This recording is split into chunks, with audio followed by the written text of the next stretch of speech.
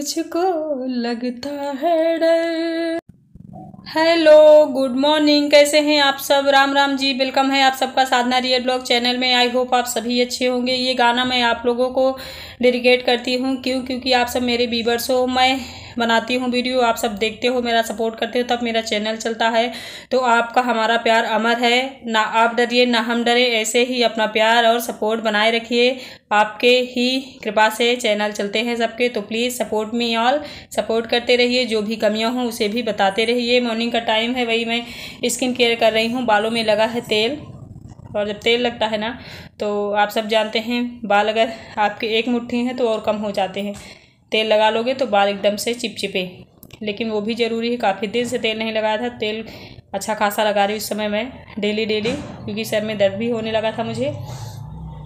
और जो लोग न्यू आते हैं तो प्लीज़ सब्सक्राइब करना ना भूलें फ्रेंड्स आई रिक्वेस्ट और जो सिस्टर मेरी कह रही हैं लाइक चाहिए आपको सब्सक्राइब चाहिए सपोर्ट चाहिए, लेकिन आप हमारे कमेंट का रिप्लाई नहीं करती हैं तो ओ डियर सिस्टर का मैं आज नाम लूँगी, उनको बहुत सम्मान दूँगी एंड बड़े प्यार भरे शब्दों से उनका स्वागत करूँगी। तो प्लीज़ सिस्टर ज़रूर आप देखना, फिर आप कहोगे अगली वीडियो में नाम लो। तो ठीक है सिस्टर और ये देखिए, वहाँ स्किन केयर वाला सारा काम हो गया है। फिर मैं आ गई पीछे कपड़े।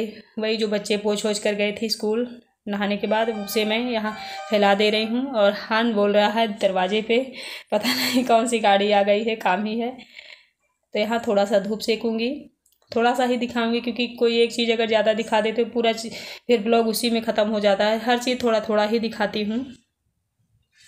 देखिए, बर्तन मेरे रखे हुए वैसे ही इनको भी अच्छे से रख दूँगी, सेट करके। अभी मेरा पूजा हुआ नहीं है। देखिए हस्बैंड कुछ मांग रहे थे, देने गए सारे बर्तन वहाँ से ले आए हम सब अच्छे से यहाँ सेट करके रख दूँ, उसके बाद भी पूजा करूँ, क्योंकि सामान इधर उधर बिखरा रहता है ना तो मज़ा नहीं आती काम करने में। सारा सामान रखने में आप पूजा करूँगी, फिर मिलूँगी आप लोगों से। मेरे साथ तो हमेशा ऐसे ही होता है दोस्तों।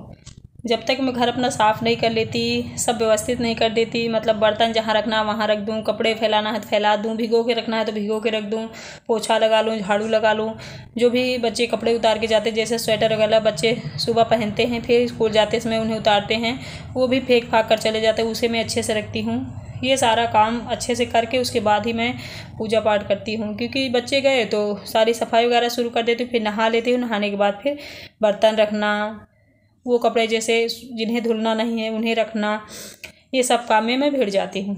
आधा एक घंटा तो मेरा इसी में चला जाता है।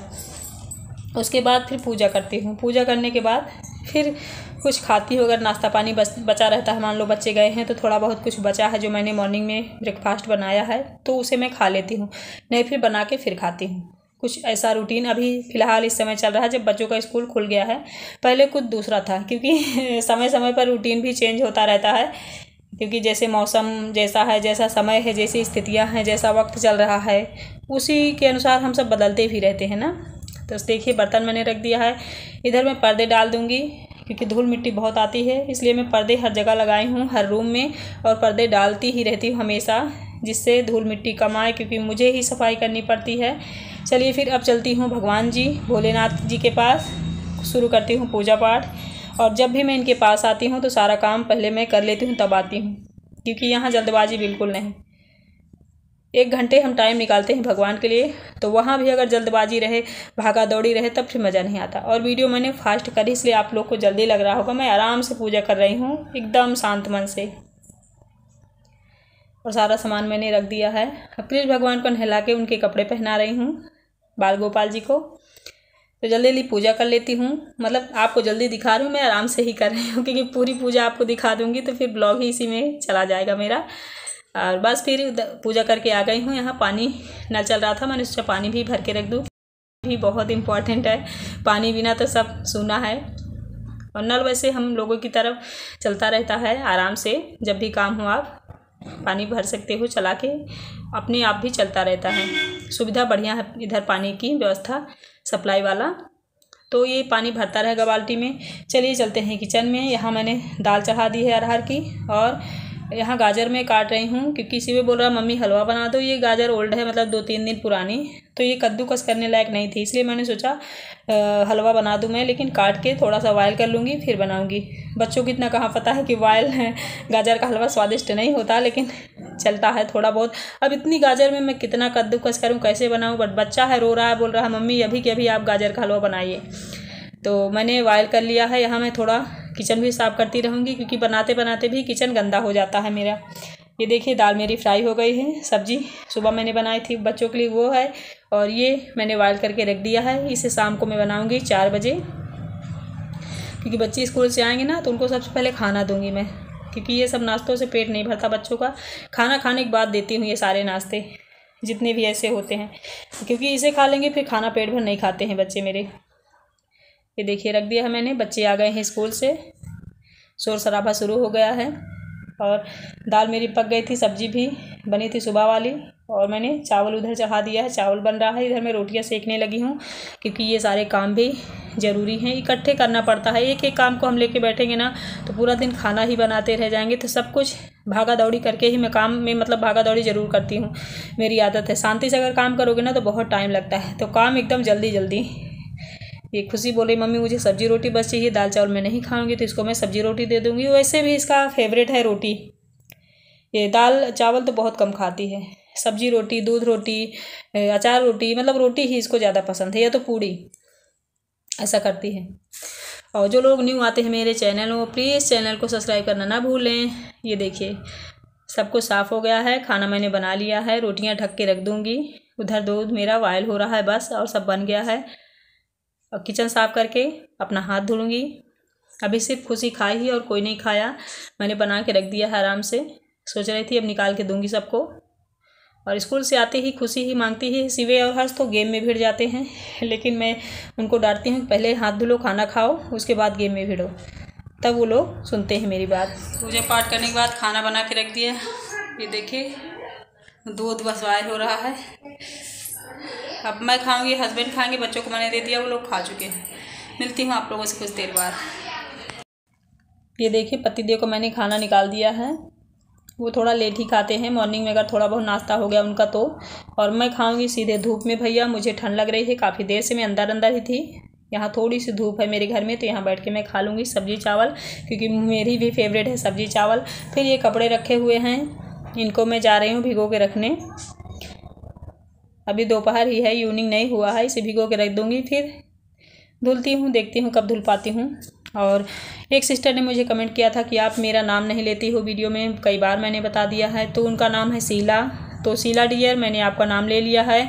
आप कहाँ से हो, कैसी हो, मुझे नहीं पता बट आप मेरी वीडियो देखते हो कमेंट करते हो, इसलिए मैं आपका नाम ले रही हूँ। तो Sheela thank you and love you dear और ये देखिए, गाजर का हलवा मैंने बना दिया है। तो सिवे खाया है और कोई खाया भी नहीं क्योंकि उन लोग को वायल हलवा नहीं पसंद है। और ये कपड़े मैंने धुल के डाल दिया है। कोई भी वायल गाजर का हलवा नहीं खाता। जब कद्दू कस करके अच्छे से मैं घी से तलती हूँ तभी खाते हैं। ये देखिए पानी ऐसे चल रहा था। तो यहाँ आ गई मैं बंद करने। इतना ठंडी में उतना तो काम नहीं देता कि मान लो सुबह नहा लें। बहुत ठंडा पानी रहता है। लेकिन बर्तन धुलना है, कपड़े धुलना है, अचानक से नल चला गया है, पानी नहीं आ रहा तो ये सब बहुत काम देता है।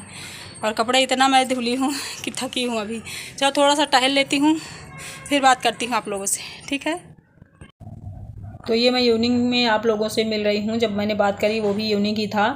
और गोल्ड ज्वेलरी के बारे में भी मैं बात कर लूँ, नहीं आप लोग कहोगे नदी ने लिखा तो है, बट बताया नहीं है तो कई सिस्टर मेरी पूछती हैं जो मेरी व्यूवर्स हैं कि दी आप गोल्ड ज्वेलरी क्यों नहीं पहनते हो कोई फ़ंक्शन में? और जैसे करवा चौथ में ऐसे कोई त्यौहार आते हैं तो आप वही पहने रहते हो जो पहने हो? तो डियर सच में रियली मेरे पाँच तोले सोने के गहने थे कसम से। Uh, मेरे जानने वाले जो हैं उनको तो अच्छे से पता होगा क्योंकि मायके से भी अच्छा खासा मुझे मिला था सोना। ससुराल में भी जो भी थोड़ा बहुत था मिला था। तो गहने थे मेरे हस्बैंड ने भी कई चीज़ें मुझे बनवाई थी जब मैं आई थी तो लेकिन बहुत बड़ी परेशानी हो गई थी। इसकी वजह से सोने के गहने मेरे मेरे हाथ में आज एक भी नहीं है। जो भी मैं पहनी हूँ, बस इतना ही है। मैं सबसे बताती हूँ कोई झूठ नहीं है डियर कभी भी मुझे लगेगा कि है मेरे पास आ गया है तो मैं पहनूँगी भी, आप सबको दिखाऊँगी भी, बताऊँगी भी, फ़िलहाल अभी नहीं है। ठीक है डियर इसलिए मैं नहीं पहनती हूँ। इसमें कोई छिपाने वाली बात ही नहीं है। तो मैं क्यों छिपाऊँगी? है ना?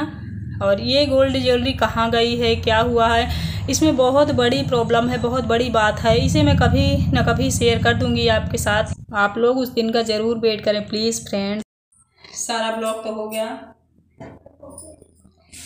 इतनी देर टाइम पाई हूँ, सारा काम फिनिश कर गई, ये एकदम शाम का टाइम है, अभी चाय वगैरह नहीं बनी है। अब मैं कर लेती हूँ आप लोगों से थोड़ी सी बातें, उसके बाद फिर बनाऊँगी चाय और पीऊँगी बिल्ली।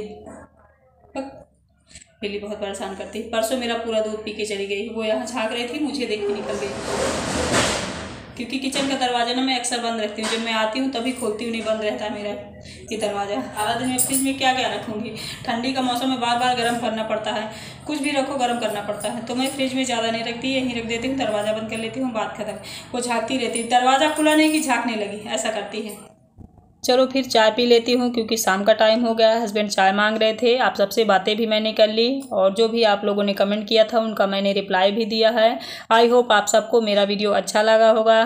प्लीज़ फ्रेंड्स सपोर्ट करते रहिए। जो भी आज नहीं है, वो सब होगा आप लोगों की कृपा से। Bye and good night